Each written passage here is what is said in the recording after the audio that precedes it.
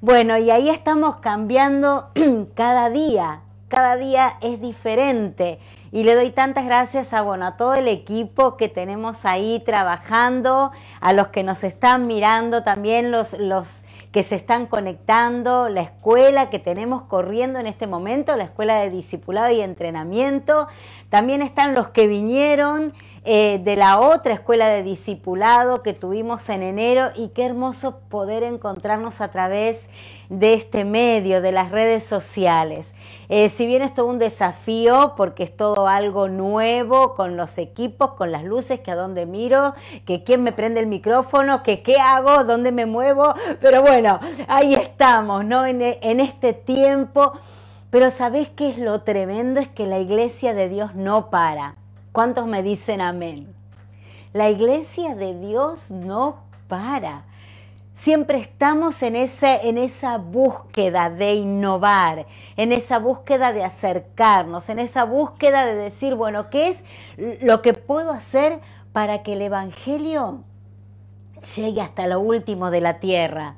Para que nosotros podamos equipar a cada hombre y a cada mujer de Dios a que abrace ese propósito, a que descubra el propósito para su vida. Bueno, y este tiempo, como decía Moni también, eh, no ha sido fácil, ¿no es cierto? Porque hemos eh, tenido eh, muchos pastores, muchos amigos, compañeros de batalla en la gran comisión que han partido a la presencia del Señor y qué difícil que es, ¿no?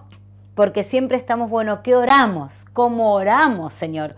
Oramos, Señor, dale vida, oramos, o algunos te dicen, no tenés que soltar a la persona para que parta, y, y en ese momento, qué importante que es escuchar la voz de Dios. ¿Cuántos me dicen amén?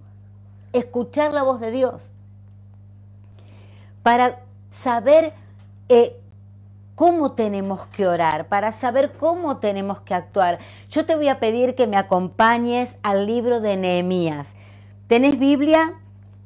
Por ahí, si podés tener tu Biblia, si podés tener un, papel también, un avirome para anotar, porque a veces uno dice, bueno, después lo veo eh, y después por ahí no lo vemos, ¿no es cierto? Porque empezamos con tantas cosas, así que aprovecha en este tiempo, agarra un papel, un avirome, eh, abrí tu Biblia y acompáñame, que la lectura de la palabra es tan importante en el libro de Nehemías.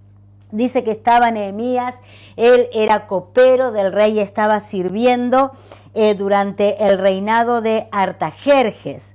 Y en ese momento mientras él estaba sirviendo en, el palacio, mientras él estaba sirviendo en la casa del rey, viene su hermano, su hermano Hanani. Hanani viene y eh, cuando se encuentra con él, me, imagino, ¿no? La alegría de verlo, imagínense que no es como ahora que uno dice, bueno, llamo un Uber y me voy, o agarro el auto y me voy. En ese momento, desde la ciudad donde estaba Nehemías hasta el lugar donde estaba viviendo Hanani, que era en la ciudad de Jerusalén, eh, había un trecho largo, había que ir a caballo, había que eh, armar, ¿no es cierto? Era toda, toda una movida encontrarse en ese lugar. Y entonces cuando llega lo primero que le dice Nehemías, le hace una pregunta. Le pregunta y le dice, entonces le pregunté por el resto de los judíos que se habían librado del desierto y ahí le pregunta por Jerusalén. Cuando nosotros tenemos una carga, cuando nosotros tenemos eh, un tema, cuando tenemos, una causa, eh, algo que extrañamos, lo primero que hacemos es preguntar. Qué importante, ¿no? Esto que hizo Nehemías apenas se encuentra con él, le pregunta, le pregunta, ¿y cómo están?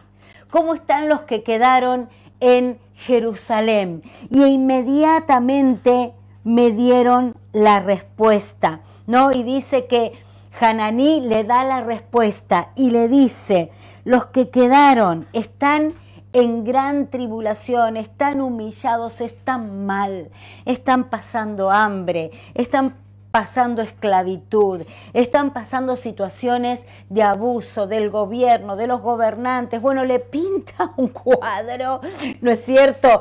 Realmente tan, tan duro. Y dice que Nehemías no solamente le pregunta, la pregunta tiene que ver con em, el investigar, el no manejarnos por presupuestos. Eh, en este tiempo, como iglesia, creo que tenemos más preguntas que respuestas, ¿no es cierto? Pues estamos todo el tiempo, bueno, ¿qué hacemos? ¿Vamos, no vamos? ¿Usamos el barbijo, no usamos el barbijo? Eh, ¿Hacemos una maratón, no hacemos una maratón? Todo esto es, tenemos más preguntas, ¿no es cierto? Tenemos más preguntas que respuestas. Y en ese momento viene la respuesta. la respuesta era negativa. La respuesta era, era triste. Y creo que muchos estamos pasando, ¿no? En este tiempo por eh, preguntamos por la iglesia y tal iglesia no, tuvimos que cerrar porque no podíamos pagar el alquiler y tal pastor no eh, falleció y muchas muchas respuestas que estamos recibiendo en este tiempo eh, son respuestas de, de mucho desánimo son respuestas de crisis. Y lo primero, lo tercero, ahí si vos querés ir anotando, lo primero que hace Nehemías es preguntar. Lo segundo es la respuesta, ¿no? Y lo tercero es escuchar. Dice que cuando le respondió, dice en el versículo 4, al escuchar esto, qué importante el escuchar. Porque cuando nosotros escuchamos, yo le voy a pedir al equipo que me vayan señalando también cuando más o menos sea la hora para ir terminando, porque me entusiasmo y sigo, sigo. Y realmente usted después siga leyendo el libro de Nehemías, ¿eh? porque es tremendo eh, toda la enseñanza. Vieron que a veces agarramos un versículo, ¿no?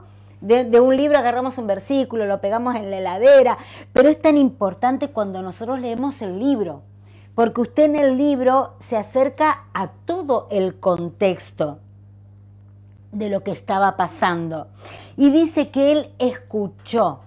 Cuando, él cuando nosotros aprendemos a escuchar, eh, y muchos de los que están, trabajan eh, con el tema de sanidad interior, eh, los que trabajan con, con, el tema de consejería, los que trabajan con, con discipulado, ¿cómo tenemos que aprender a escuchar? Porque cuando yo escucho, la acción que voy a tomar eh, va a depender de lo que yo escuché y no se centra, cuando nosotros escuchamos, no nos centramos en nuestra necesidad, en lo que yo pienso que necesita, sino que cuando yo escucho me, me centro en el otro. Eh, me acuerdo eh, hace unos años atrás que hicimos un viaje misionero a Misiones y ahí estuvimos trabajando con una comunidad guaraní, ¿no? Entonces, claro, nosotros que veníamos, viste, los porteños que sabemos todo, todo, ¿no? Y realmente cuando llegamos a esa comunidad guaraní y veníamos con este entrenamiento, ¿no? De Nehemías, preguntá, esperá la respuesta y una vez que te dan la respuesta, que tu escucha sea activa, que no estés escuchando eh, presuponiendo, sino que realmente estés escuchando de acuerdo a la necesidad de la persona. Y estábamos ahí en la comunidad y nosotros pensamos, bueno, los que eh, estos niños que pobrecitos no tienen juguetes y pobrecitos no tienen esto, porque uno veníamos como con nuestra cosmovisión con lo que nosotros pensábamos que esos niños necesitaban. Pero realmente cuando llegamos a ese lugar y tuvimos como un tiempo eh, de retorno, como decimos nosotros, con el equipo, y vimos que estos niños eran tan felices eh, sus juguetes eran tan, eran tan creativos, eran tan innovadores, porque jugaban con, con latas y, bueno, estaban cerca de la ruta, ¿no? Entonces veían los autos y con latas eh, hacían autos y, y, creaban y qué tremendo, ¿no? Porque tenían creatividad.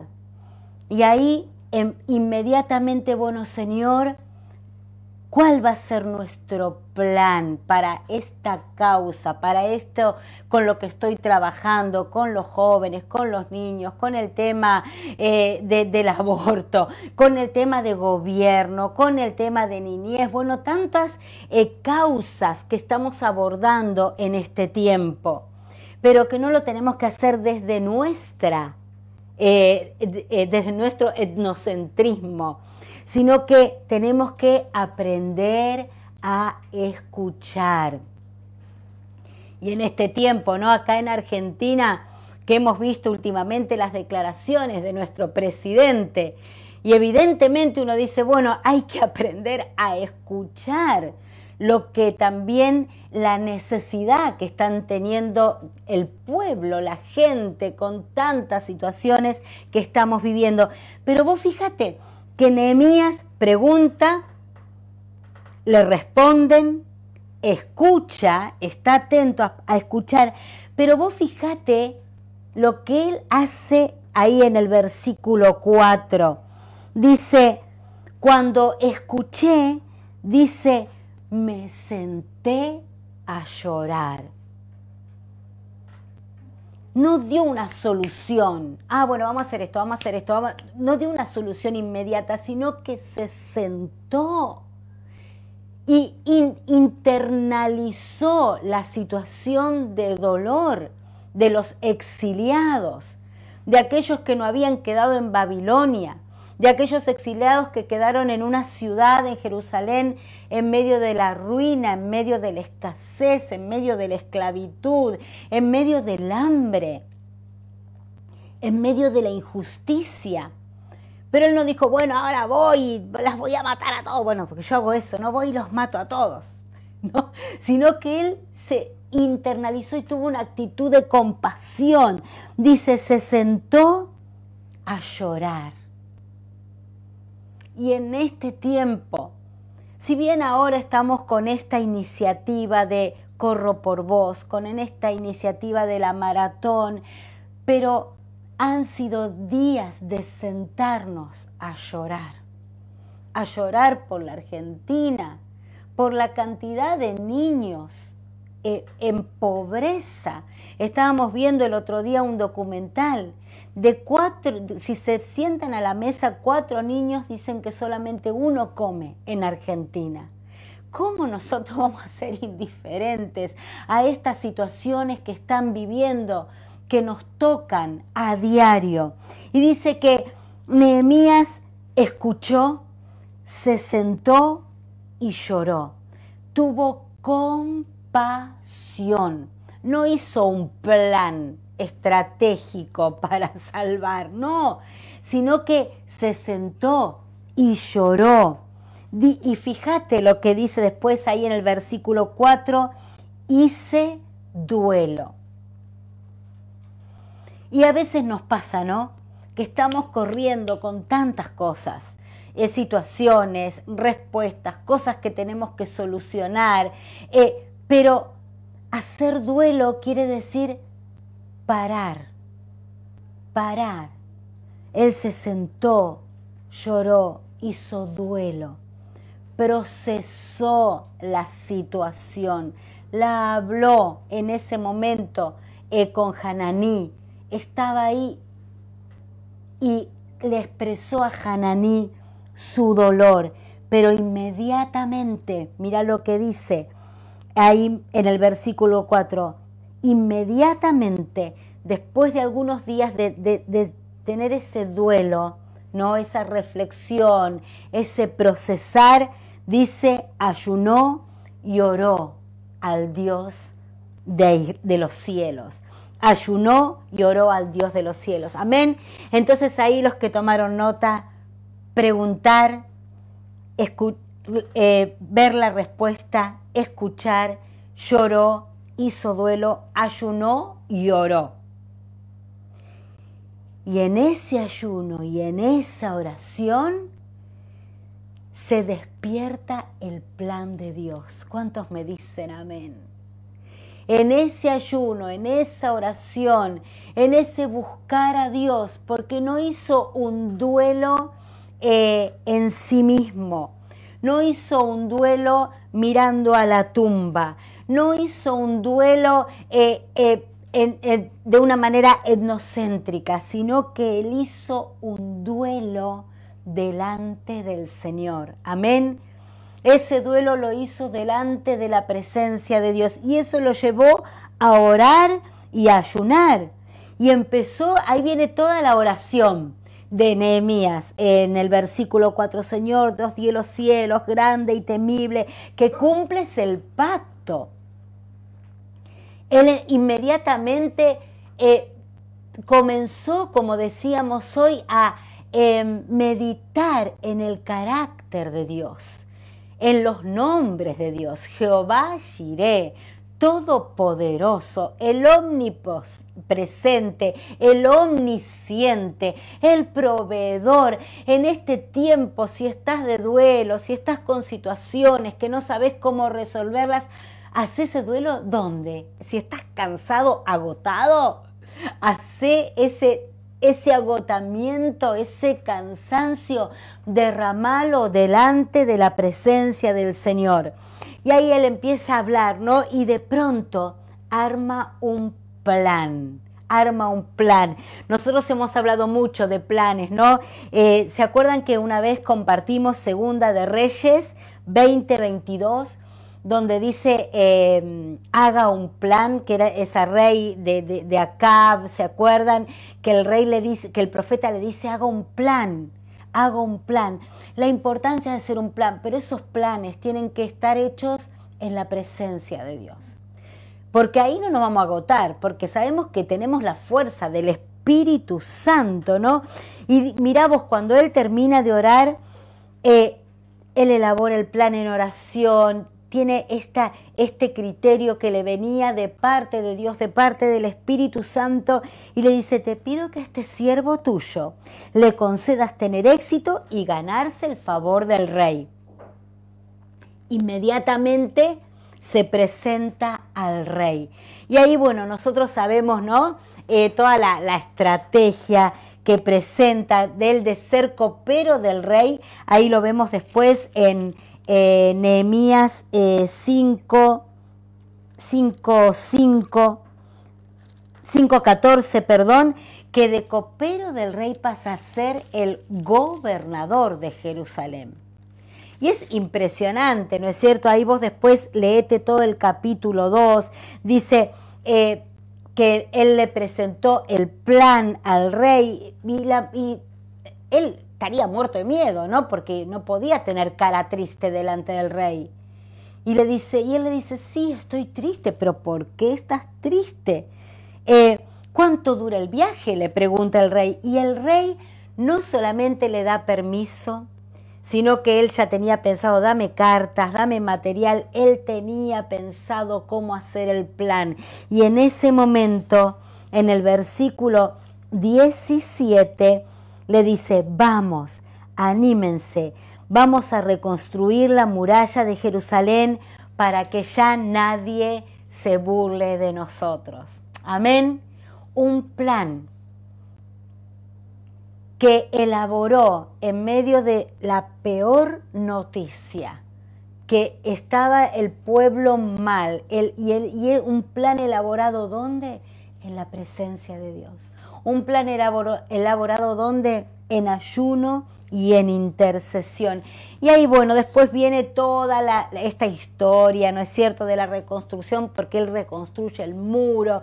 Se había intentado reconstruirlo muchas veces, no habían podido, y finalmente él logra reconstruir el muro, ¿no? En eh, Nehemías 5:15 dice, al fin terminamos la muralla. Finalmente, finalmente, a ver, a ver que me lo perdí.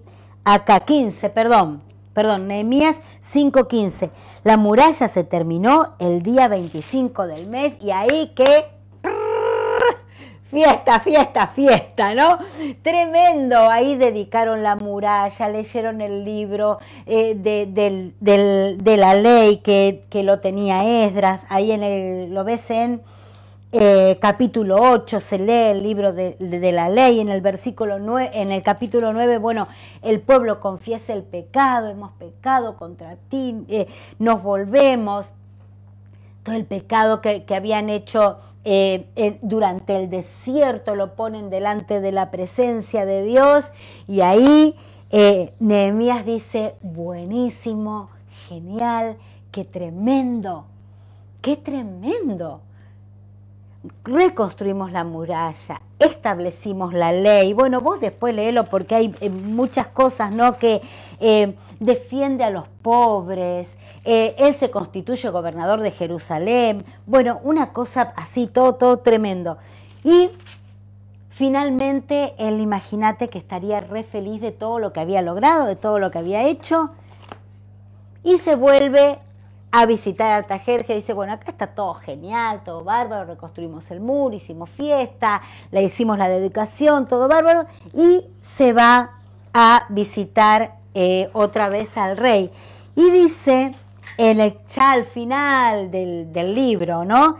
Em, en el capítulo 13, versículo 7, dice, y regresé a Jerusalén. Regresé a Jerusalén, había un de visita, regresa y dice, bueno, me voy a encontrar qué lindo todo lo que logré, que reconstruí el, reconstruimos la muralla después de tanta lucha, después de tan, tanto, tanto, eh, eh, se acuerdan de Tobías y Ambalat que les decía, se te va a caer, ¿no? Y siguieron, siguieron, se acuerdan que también decía, eh, peleemos con una espada y la pala, bueno, todo eso, todo eso está ahí en Nehemías, ¿no? Entonces fue genial, genial, y él regresa. Cuando regresa,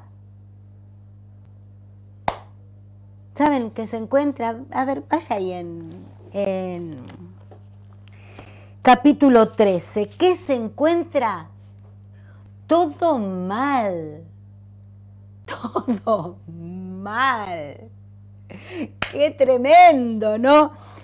Regresó y Eliasab había puesto a un, se había emparentado con Tobías y lo había puesto a dormir en el templo, en el almacén, ahí en el templo, qué sé yo. Y ahí, bueno, cuando Nehemías ve todo eso, dice, esto me disgustó, versículo 8, esto me disgustó tanto que hice sacar de la habitación todos los cachivaches de Tobías. Me encantó. Esta es la versión internacional todos los cachivaches de Tobías. Dijo, no, pero ¿qué hicieron? ¿Qué estás haciendo? Bueno, no solamente eso, sino, fíjate ahí en el versículo 10, los levitas no estaban más en el templo. Dijeron, no, no vamos a limpiar más el templo. Entonces se habían ido, se habían eh, eh, ido a cosechar. Em, este, ahí en el versículo 10 dice, esperen, esperen que me, me fui, me fui a Esther. versículo 10, me enteré que los levitas no les habían entregado sus porciones, este, se habían descuidado, eh, se pusieron a cargo a, otros en el almacén. Bueno, los levitas se habían ido en el versículo 10. En el versículo 15, eh, de pronto veis qué pasó en el versículo 15. Durante aquellos días vi también que Judá empezaba a trabajar los días de descanso, es decir, que no guardaban más el sábado. O sea, todo lo que se había, em, se había restaurado con Esdras de la ley, bueno, todo para atrás, o sea, todo un desastre, pobrecito Nemia, ¿no? Dice que eh, en el versículo 15, bueno, eh, trabajaba en el día de descanso. En el versículo 23 eh, también había, había vieron que bueno, se habían emparentado con mujeres extranjeras y siempre la palabra de Dios habría dicho se tienen que casar con, los mismos israelitas. Nosotros decimos se, se, emparentó en yugo desigual. Bueno, la cuestión de que se habían casado con mujeres extranjeras, eso también lo vio. Tantas cosas, ¿no? Bueno, todo mal, pobrecito Nehemías, ¿no? Dice que eh, en el versículo 25, esto, bueno, no sé cómo dirá tu versión, no sé qué versión tenés. Fíjate ahí, este, Nehemías eh, 13, 25. Entonces los reprendí, porque se habían casado en yugo desigual, los reprendí, dice, y los maldije. y a algunos los golpeé, o sea, es un poco este, hablando de abuso espiritual, ¿no?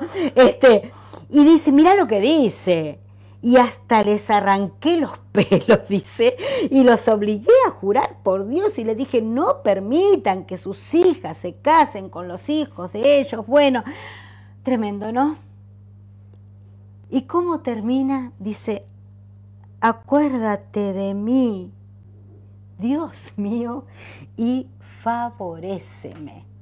Así termina el libro de Nehemías. Acuérdate de mí, Dios mío, y favoreceme. Qué tremendo, ¿no? Qué tremendo eh, cuando hacemos cosas y trabajamos y empezamos, vieron como dice la palabra de Dios en Gálatas. Gálatas, habiendo empezado por el Espíritu, terminan en la carne.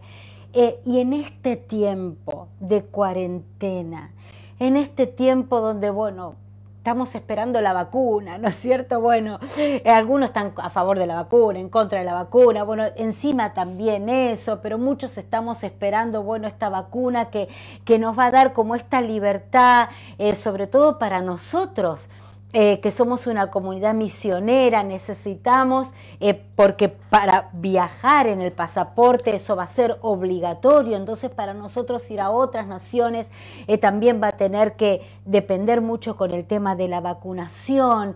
estamos inmersos en tantas situaciones, malas noticias. ¿Cómo, ¿Cómo estamos reaccionando en este tiempo? En esta cuarentena? ¿Cómo estamos reaccionando con las noticias? Con, todo lo que escuchamos en televisión, cómo estamos reaccionando en nuestro corazón. Y ahí abrí tu Biblia y con esto voy a ir terminando. ¿Voy bien con el tiempo? Bien, voy bien con el tiempo. Ahí abrí tu Biblia ahora en Jeremías 30, 23. Dice la tempestad del Señor ha estallado con furor.